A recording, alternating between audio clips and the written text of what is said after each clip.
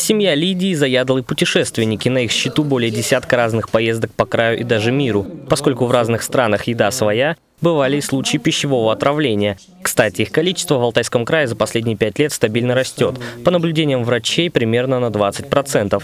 Медики считают, что все дело в некачественных или немытых фруктах и овощах. Не миновало заболевание и семью Лидии. Этим летом мы ездили в Горный Алтай со всеми ребятишками, отдыхали, получается, все лето, никто не заболел, а вот под конец отпуска что-то, видимо, мы съели не то, мы грешим на арбуз. А, в общем, появились первые такие звоночки, такие симптомы, начала тошнота у всех а, появляться.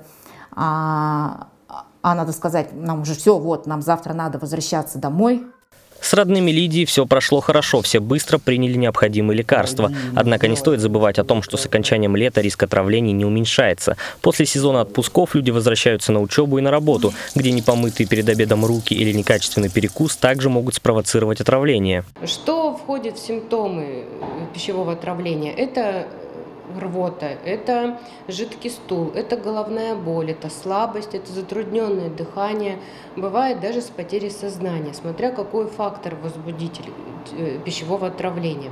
По словам врача, в легких случаях отравление можно лечить в домашних условиях. С этой задачей хорошо справляются средства из домашней аптечки, сорбенты, например, полисорб. При пищевом отравлении я всегда говорю, что в первую очередь это водный баланс, водный режим, это энтеросорбенты в первую очередь, но не травы.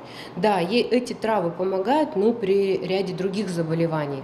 Энтеросорбенты тянут на себя токсины, бактерии, которые вызывают возбудители пищевого отравления, и тем самым быстрее просто человек выздоровеет.